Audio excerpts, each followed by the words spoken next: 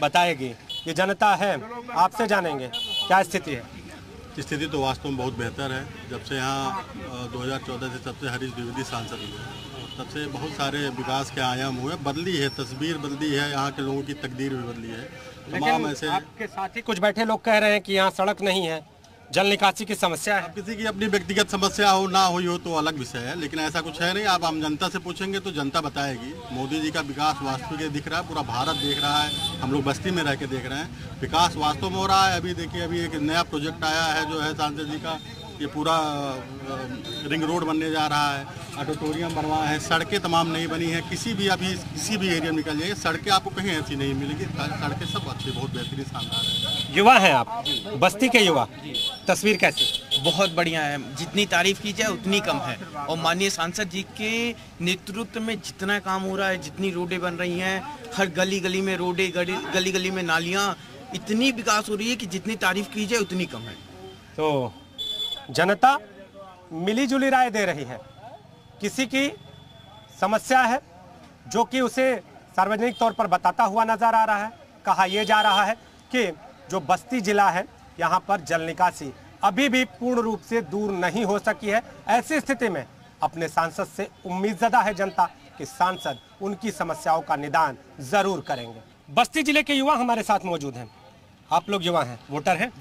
जी। विकास की स्थिति क्या है? विकास की स्थिति बहुत अच्छा है और थोड़ा गाँव में थोड़ा करने की ज़रूरत है बहुत अच्छा है। गाँव में स्थिति क्या है? जल निकासी की समस्या है या जल निकासी का निदान हुआ है? निदान हुआ कहीं कहीं हुआ है कहीं कहीं हो रहा है भी प्रयास में भी लगे हुए हैं। और हो भी रहा है काम बहुत हुआ है। माननीय सांसद जी द्वारा एक वो दीनदयाल पुस्तकालय बनाया गया जो शिक्षा के प्रति युवाओं के वहाँ पढ़ने के लिए व्यवस्था की गई है। लाइट पंखा हर चीज़ की व्यवस्था है वहाँ। और हर चीज़ पूरी व्यवस्था आप बताइए। जी माननीय सांसद जी के द्वारा बस्ती में विकास का जो है जाल बिछाया गया। चाहे इंफ्रास्ट्रक्चर की बात की जाए चाहे युवाओं की भविष्य की बात की जाए चाहे बेरोजगारी की बात की जाए माननीय सांसद जी जैसा कार्य आज तक के इतिहास में ना कोई किया है ना कोई आगे करेगा। जब से 2014 के चुनाव के बाद से माननीय सांसद जी जिस तरह बस्ती के लिए प्रयास किया युवाओं के लिए प्रयास किया उस तरह आज तक कोई नहीं किया। और इतने ही नहीं स्टेशन का कायाकल्प की बात की जाए या पुस्तकालय की बात की जाए या बस्ती में रोडों की जालों की बात की जाए या गरीबों की सहायता की बात की जाए या बेरोजगारों के रोज़गार की बात की जाए किसी भी स्तर पर अगर बात की जाए तो माननीय सांसद जी की तरह कोई काम करने वाला कोई विकास पुरुष बस्ती में नहीं पैदा हुआ और भी लोगों से बातचीत कर लेते हैं। कुछ युवा हैं जो अपना विचार भी रखने के लिए यहाँ पर हैं। बस्ती में विकास कितना? बस्ती विकास की कोई सीमा नहीं है, काफ़ी ज़्यादा विकास है। आप देख सकते हैं, पिछले जितने, पहले जितने सांसद थे, या फिर पिछले में जो भी आपकी सरकार चली थी, उसके हिसाब से अब क्या नहीं है बस्ती में?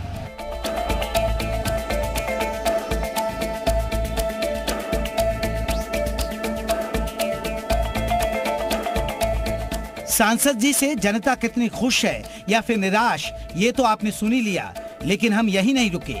जनता के सवाल लेकर हम पहुँच गए। सांसद जी के प्रतिनिधि के पास और उनसे जानने की कोशिश की कि आखिर सांसद जी की तरफ़ से क्या क्या कदम उठाए गए हैं।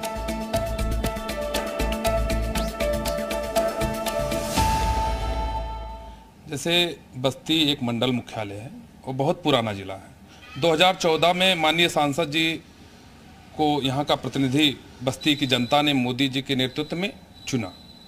बस्ती अपने आप में बड़ा जिला होने के बाद भी हर मामलों में, शिक्षा के क्षेत्र में, स्वास्थ्य के क्षेत्र में, हर मामलों में बहुत पिछड़ा था। सांसद जी एक सामान्य परिवार से उठ के, एक सामान्य कार्यकर्ता होने के नाते जब आए तो यहाँ की जनता और पार्टी के कार्यकर्ताओं को लगा कि एक ऐसा व्यक्ति हम लोग के बीच में आया है, जो मूलभूत समस्या जनता की क्या है, क्या उनको ज़रूरत है, उस चीज़ को जाता है। कोई बड़ा परिवार नहीं है, राजनीतिक परिवार नहीं है, उस उस चीज़ से उठ के वो सांसद बने। तो उनको मूलभूत समस्याएँ जो थी उसके बारे में उन्होंने काम किया। और आज बस्ती में आप देखिए, ग्रामीण क्षेत्र में सड़कों का जाल देखिए, चाहे मेडिकल कॉलेज बस्ती, जैसे बस्ती के लोगों के लिए दवा कराने के लिए गोरखपुर, लखनऊ, दिल्ली जाना पड़ता था। लेकिन बस्ती में मेडिकल कॉलेज का देख के, इंजीनियरिंग कॉलेज शिक्षा के क्षेत्र में, पॉलीटेक्निक, महिला पॉलीटेक्निक, केंद्रीय विद्यालय था, उसके बाद दो शिफ्ट में केंद्रीय विद्यालय हमारे यहाँ चल रहे हैं। हर क्षेत्र में एक अटल आवासीय विद्यालय हरैया में कम से कम पूरे प्रदेश में पाँच या छह अटल आवासीय विद्यालय आए हैं। और बस्ती का सौभाग्य है हमारे सांसद जी की सक्रियता से हमारे बस्ती को भी अटल आवासीय विद्यालय मिला है। रेलवे और उसके अलावा किन क्षेत्रों में विकास हुआ है? आप केंद्रीय स्तर पे देख लीजिए जो केंद्र सरकार की योजनाएँ हैं। रेलवे बस्ती का रेलवे इतना दूर उसकी दुर्दशा थी। आज बस्ती रेलवे जाइए एस्केलेटर की व्यवस्था। आप लिफ्ट की व्यवस्था उसका आधुनिकीकरण कुछ ज़िले उत्तर प्रदेश के और देश के कुछ जिलों का चयन मोदी जी के नेतृत्व में रेल मंत्री जी के नेतृत्व में हुआ बस्ती का भी आधुनिकीकरण का हुआ। जो रेलवे ओवरब्रिज मुंडरमा ओवरब्रिज देख लीजिए बन के तैयार है और एक बस्ती रेलवे स्टेशन जो जिगना के पास का ओवरब्रिज है वो बन रहा है। रिंग रोड बस्ती के लिए कल्पना था एक छोटा जिला और रिंग रोड 1100 करोड़ रुपए का प्रथम चरण का रिंग रोड स्वीकृत हो गया है। ज़मीन का अधिग्रहण हो गया है। आ, आ, अगले महीने से काम चालू होने वाला है। आप गैस पाइपलाइन की बात सोचिए, उत्तर प्रदेश के 12-15 जिलों में गैस पाइपलाइन का है। बस्ती में काम 80 परसेंट काम पूरा हो गया, कनेक्शन देना शुरू हो गया। हम लोग के सौभाग्य की बात है कि सांसद जी के नेतृत्व में बस्ती निरंतर विकास के पथ पे अग्रसर है।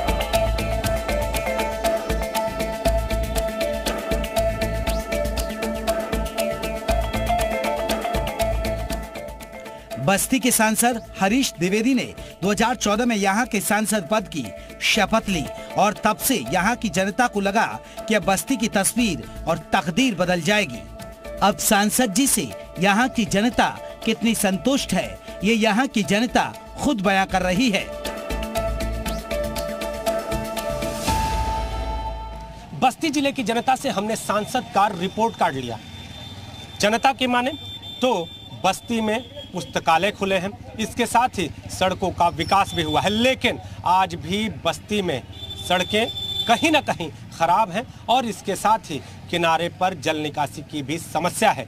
जनता उम्मीद में है कि सांसद इन समस्याओं का भी आगे निदान ज़रूर करेंगे। लेकिन अगर बात करें तो बस्ती पिछले शासन के मुकाबले इस बार के सांसद से संतुष्ट नज़र आ रहा है।